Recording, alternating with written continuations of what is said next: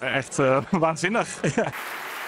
Soms zijn vakgebieden heel erg competitief en eh, houden mensen dingen voor zichzelf. Maar we kunnen zoveel van elkaar leren en zoveel efficiënter worden als we data met elkaar delen en software met elkaar delen. Want dat is eigenlijk de clue van open science. Als je data deelt en je data beter organiseert, dan doe je ook beter je werk.